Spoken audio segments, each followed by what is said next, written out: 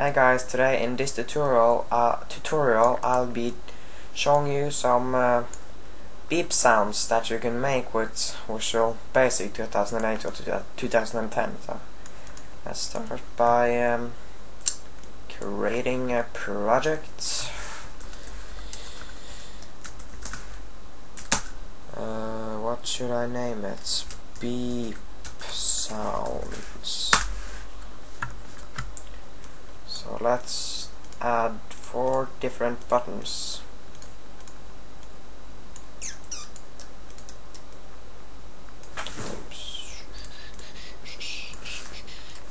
And I'll just rename the text to one, two, three, four.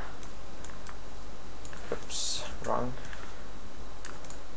And center them.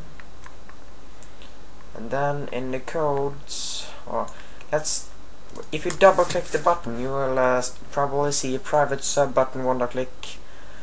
Yeah and ByVal sender as system.object and it handles when the button one clicks as yeah of course when the control is clicked and that's the button one so you can do it on uh, whatever you want. So let's mouse enter mouse down mouse click yeah. So let's just go to the code I think my dot computer dot audio dot play system sound and choose between five sounds. Okay I thought it was four.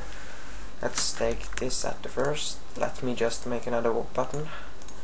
Sorry for that. And rename it to five. And uh, let's just copy paste because it's two times faster. I don't beep is the second. And then the third is let me see uh, exclamation.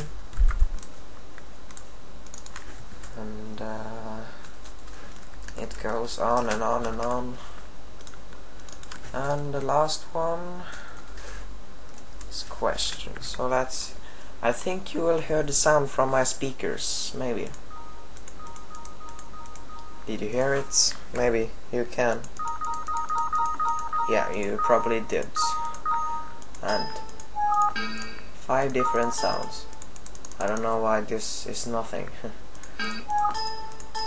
it's funny. And uh, one and one more. Uh, let's call this the sixth. And uh, just type in console dot beep. That's like another sound, I think. Yes, it is. Oh my god, my my speakers are gonna explode with the sound. So, six different sounds. That's what I've uh, showed you now.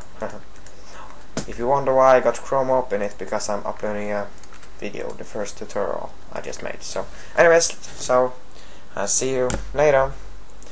Remember, comment, rate, and subscribe. Bye.